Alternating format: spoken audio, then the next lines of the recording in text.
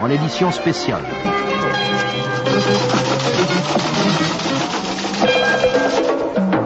Communiqué Anonymous.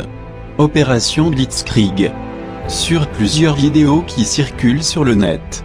La propagande de sympathisants du Front National tente d'associer Anonymous à une politique raciste et xénophobe.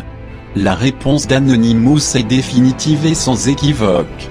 Anonymous lutte contre tous les partis racistes et xénophobes. Et tous les groupes nationalistes et nazis. Récession globale. Paupérisation galopante. Violence larvée. Corruption politique. Et libertés individuelles menacées. Comme en d'autres temps, l'histoire se répète. Les demi-vérités nous sont rabâchées. Depuis les journaux TV jusqu'à Internet. En sept ans d'incertitude. Le Front National cherche à ajouter à la confusion. Le Front National se nourrit de notre insécurité et de nos peurs. Le Front National cherche à nous diviser pour son propre dessein.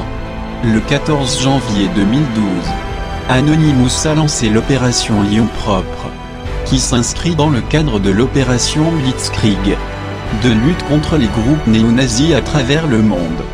Anonymous a fait la grande lessive chez les fascistes français. Parce que les adorateurs du nazisme et les acteurs du fascisme n'ont pas leur place dans le processus de construction de nos cités. Nous sommes Anonymous. Nous sommes Légion. Nous ne pardonnons pas.